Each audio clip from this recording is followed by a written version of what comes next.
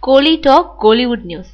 மூன்று முகம் கிடைக்கல விஜய் அட்லி படத்தோட தலைப்பு காக்கி.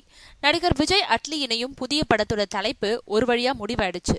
இந்த படத்துக்கு காக்கின்னு தலைப்பிடப்பட்டிருக்கிறதா தகவல் வெளியாகி இருக்கு இந்த படத்துல விஜய்க்கு ஜோடியா சமந்தா ஏமி ஆகியோர் நடிக்கிறாங்க. ராதிகா சரத்குமார் இயக்குனர் மகேந்திரன் ஆகியோரும் முக்கிய கதாபாத்திரத்துல நடிச்சிட்டு இருக்காங்க இந்த படத்தோட படப்பிடிப்பு சமீபத்துல தொடங்கி விறுவிறுப்பா நடந்துட்டு இருக்கு இந்த படத்துல விஜய் போலீஸா நடிக்கிறாரு. அதனால ரஜினி போலீஸ் அதிகாரி ரவுடி உள்ளிட்ட மூணு கெட்டப்புகள்ல நடிச்சு அசத்தின மூன்று முகம் படத்தோட தலைப்பை வைக்க முடிவு செஞ்சு சத்யா மூவிஸா அணுகுனாங்க ஆனா அந்த தலைப்பை அவங்க வேறு படத்துக்கு பயன்படுத்த போறதா சொல்லிட்டாங்க. அதனால புதுசா பல தலைப்புகளை பரிசீலனை செஞ்சாங்க. கடைசியா காக்கின்ற தலைப்பை முடிவு செஞ்சிருக்காங்களாம் காக்கின்ற பெயர்ல ஏற்கனவே சரத்குமார் நடிப்புல ஒரு படம் உருவாகி பாதியிலேயே நின்னுடுச்சு.